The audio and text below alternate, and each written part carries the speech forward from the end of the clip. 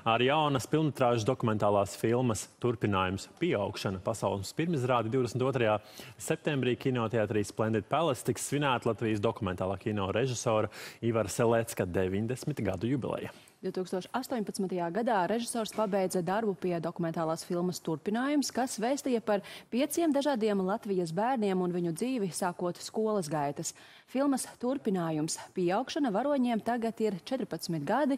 Viņi ir ceļā uz pieaugušu cilvēku dzīvi. Jā, un filmas režisori Ivars Seleckas un Armāns Začs šorīt ir pie mums viesos. Labrīt! Labrīt! Labrīt. Nu, jāatzīmē, ka mēs esam ārkārtīgi priecīgi um, un pagodināti par jūsu klātbūtni šodien. Uh, Selecka kungs uzreiz arī jautājums, kādas sajūtas jums nu tad divas dienas pirms uh, jaunākās Jā. filmas pirmizrādes? Es gribētu atgriezties mazliet pagātnē. Pirms septiņiem gadiem Gins Gruba un es sēdējām tā, tādā līdzīgā situācijā, un uh, Gins teica, ka pēc septiņiem gadiem mēs teiktu, taisīsim nākošo filmu.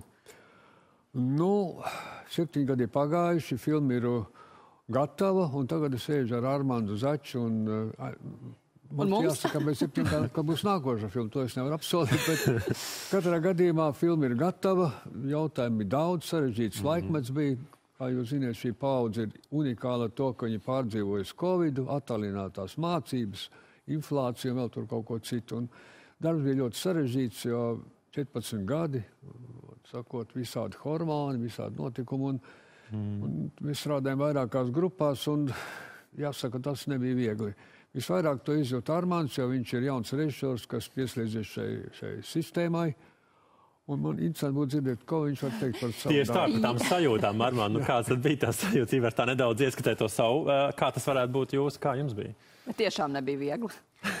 Uh, īstenībā bija ļoti, ļoti interesanti strādāt pie šīs filmas, jo, jo man ļoti svarīgi bija uh, iepriekšējā filma turpinājums. Tad, kad es viņu redzēju, tad man bija tieši piedzimis nesen dēls un mm -hmm. kaut kā ļoti emocionāli nostrādāja šis, šis stāsts. Un, Un es biju filmas fans, un, un, un tas pagodinājums nonākt šajā situācijā, kur es tagad strādāju pie šīs filmas turpinājuma, nu, bauda.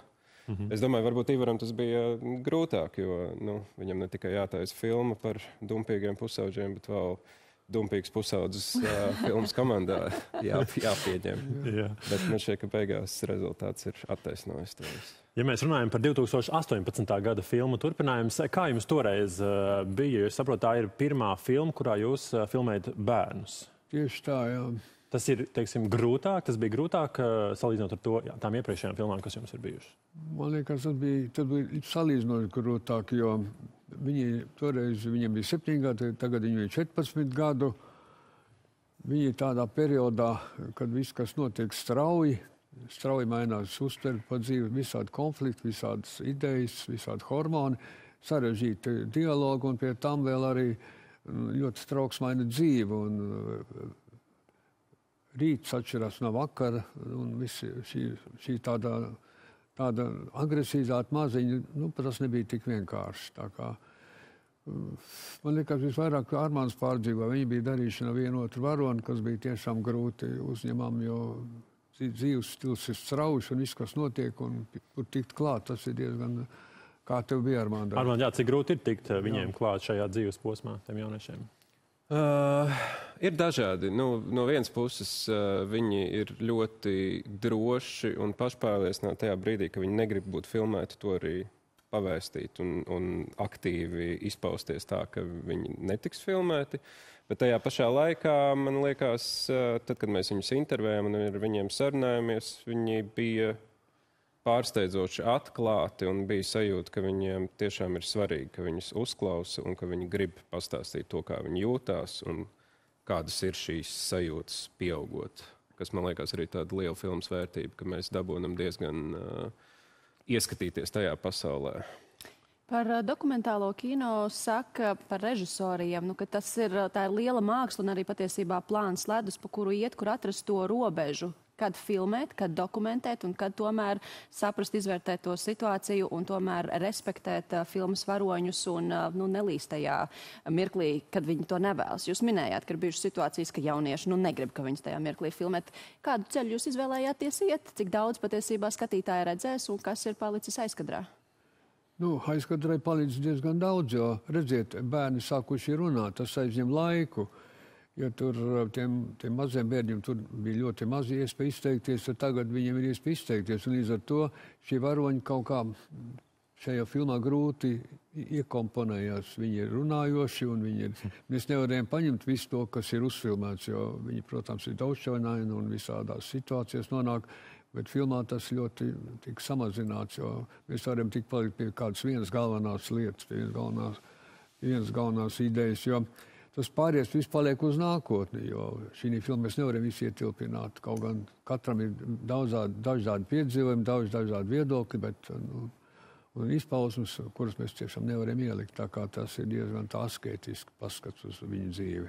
Es te nelielu repliku, tad es saklausīju, ka nākotnes projekts ir, lai gan jūs intervijas sākumā teicāt, ka nevar vēl apsolīt. ne, es noteikti nevaru apsolīt septiņu gadu, kas to lai zina, kas tur notiek, bet Armandam viss priekšā ir. Jā, jā un Armand, varbūt jūs arī varat pakomentēt šo, šo aspektu, kā tas ir, kur ir tā robeža, cik daudz filmēt, ko rādīt un stāstīt, un ko labāk tomēr nē. Kur ir tas dokumentālā, dokumentālās filmas fenomens? Nu, grūti pateikt, nu, tas ir jājūt. Un to var just tajā brīdī, kad tu iepazīsties ar tiem varoņiem un esi tur uz vietas. To var tikai tajā brīdī sajust un redzēt. Bet eh, tādā ziņā šie jaunieši ir pateicīgi, jo viņi diezgan konkrēti tev parāda, kur ir tā robeža nu, līdz tādiem brīžiem, kad viņi vienkārši burtiski aizcēla durvis un tu saproti, skaidrs, durvis ir cieta. Un šīs sarkanās līnijas jau nevar īsti novilkt pirms uh, filmēšanas, jo faktiski tas, kā, kā minēja, tas rodas uh, jā. procesā. Jā, jā nu, it īpaši ar jaunieti viņam šīs sarkanās līnijas sākumā pašam nav novilkts. Viņš viņas novelk tad, kad viņš viņas jūt un seko savām emocijām, un tad atliek tikai sekotām līdzi. Kas ir šīs filmas auditorija? Ko uzrunās? Ko jūs cerat uzrunās šī filma? Vienaudžus, bērnu vecākus? Man liekas, ka tā, šī, der, šī filma derēs visiem.